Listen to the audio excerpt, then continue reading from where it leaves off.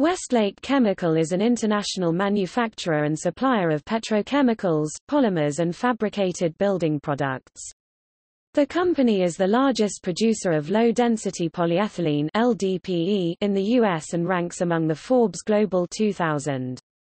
The company was founded by Ting Tsung Chao in 1986.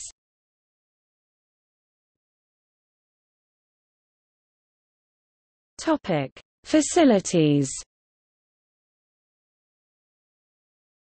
In 2014, Westlake made a significant expansion in their ethylene production facilities in Sulphur, Louisiana.